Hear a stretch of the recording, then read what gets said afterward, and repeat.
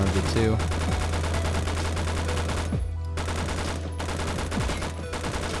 Whoa, honestly... Wait, I want to see what streak I'm going on. 11, okay. Once I get the hang of this thing, I kind of go off with it.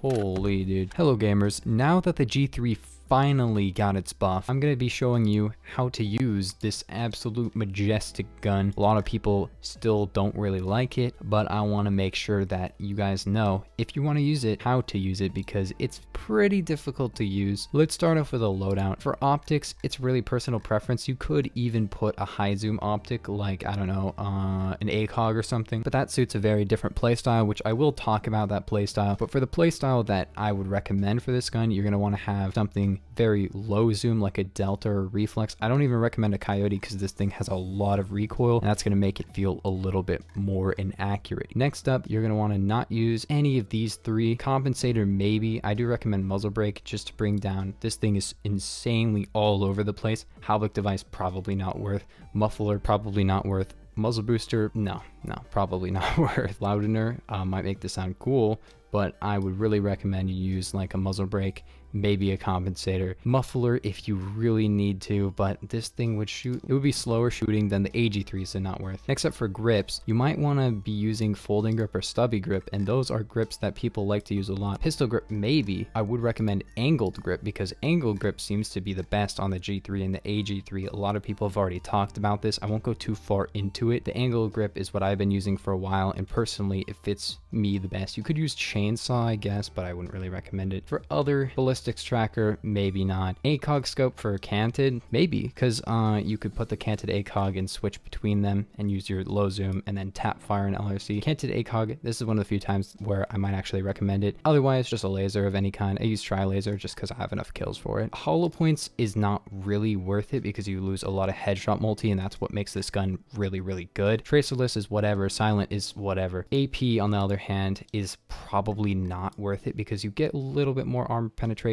you get 2.2 studs instead of 1.5 studs, which is a pretty big difference, not super noticeable, but maybe worth it. However, you're losing your 40 damage max range. It's going from 60 to 30 studs, which is going to be a really big downside. I don't really recommend it. So overall, my personal loadout is Delta, muzzle brake, angle grip, tri-laser, and no ammo. You could use whatever you want, but that is my personal preference. For maps that you're going to want to use this on, I would recommend really any map. You could use this on any map. I've used it on Desert Storm. We're getting Warehouse here, which is nice. I like to use it on Warehouse just because it has a decent amount of pen and you can tap fire an LRC, so even Dunes is somewhat manageable. I'll show you how. Honestly, kind of a DMR. So let's actually just go over here so I can show you the recoil.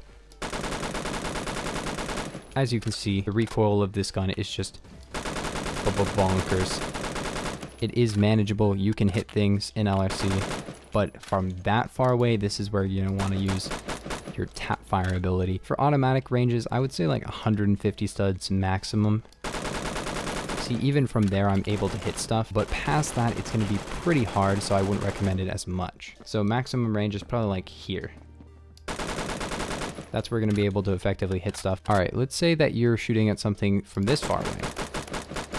Now, this is where the tap fire comes into play. You're to want to, every time that this gun, this gun actually has a really good recoil recovery speed, which allows you to actually tap fire really, really fast and still be very effective. So this is probably the fastest you can shoot to be super effective. And you can also go like this.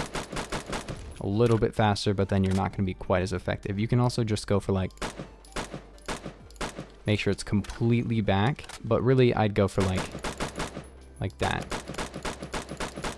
I tagged that guy three times. He should be dead.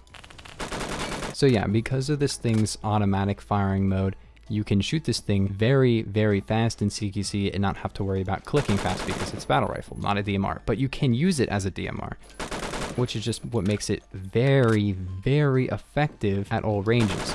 Obviously, it's going to be a little bit hard to use, but let's look at the stats in just a second because I want to show you just what makes this thing strong because there's a lot of stuff that do make it really strong. Nice grenade, by the way, random guy. So let's look at the stats. First off, this thing has a minimum time to kill of 0.1 seconds, which is, I guess that's true, but it doesn't matter. The torso multi is actually pretty good at 1.1 times, but the headshot multi is what makes this thing insane. It has a two times headshot multi, limb damage 40 to 30, torso damage 44 to 33, and headshot damage 80 to 60, which means if you hit headshots, it can two hit to the head all ranges, and you can kill with one limb and one head or one torso and one head very, very far, like at least 100 studs. The muzzle velocity and pen, like I said, are good, and the suppression is actually very high. It's 1.3, which is just insane, considering it does shoot pretty fast. But yeah, those stats allow it to do some really hard damage, but only to the head. Other than that, it performs basically just average and is really not deserving of its high recoil except for those headshots, which is what sets it apart. So if you're not hitting headshots, this thing isn't actually that good. But the second you start hitting those headshots, this thing is going to be next level powerful because two hit all ranges, not even the AG3 can do that with two headshots basically no other gun in the battle rifle category. Not even the ECR can do that all ranges. It also has a very good 3 hit range now, way better than it was before. But overall, I have another video on the G3 that tells you basically the buff, what the buff actually did. You can go watch that. The fact that you can use it like a DMR in LRC is just like it just makes it so much more versatile, unlike a lot of battle rifles, which kind of fall off, like the ECR. The ECR you're not going to be able to use in range. Like, it's not going to work. Except the G3 is, like, nearly as effective in LRC as, as it is in CQC, which is just, like, Jeez, man, that's that's actually epic.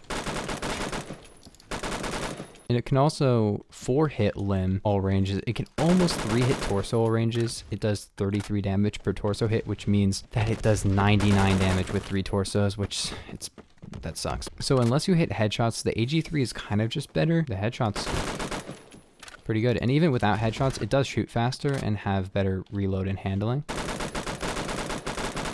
I couldn't really tell you which is better between the AG3 and the G3, like it's very up to personal preference, but in my opinion I like the G3 more. I said this in my other video, you should watch that because it kind of kind of just details the stats more of the two.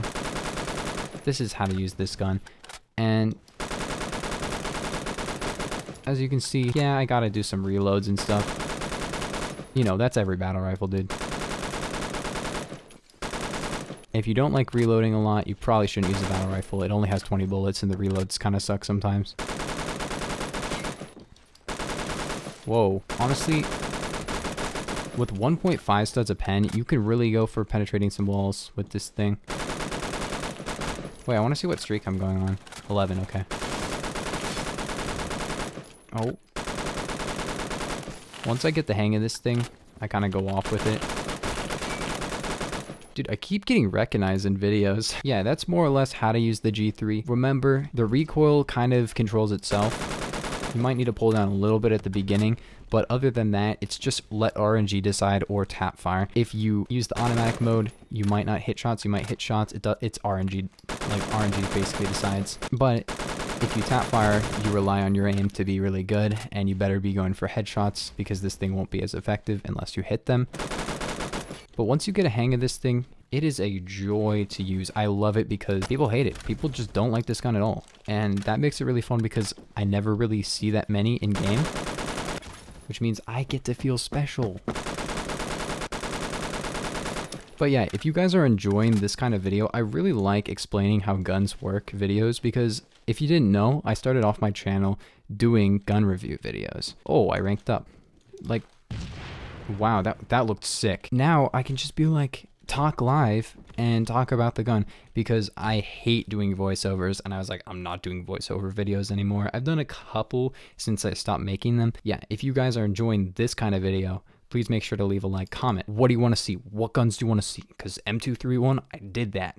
G3, also kind of hard to use, and I did that. Yeah, if you guys enjoyed, I want to see those comments. What guns do you want to see? And I'll see you guys in the next one. Peace.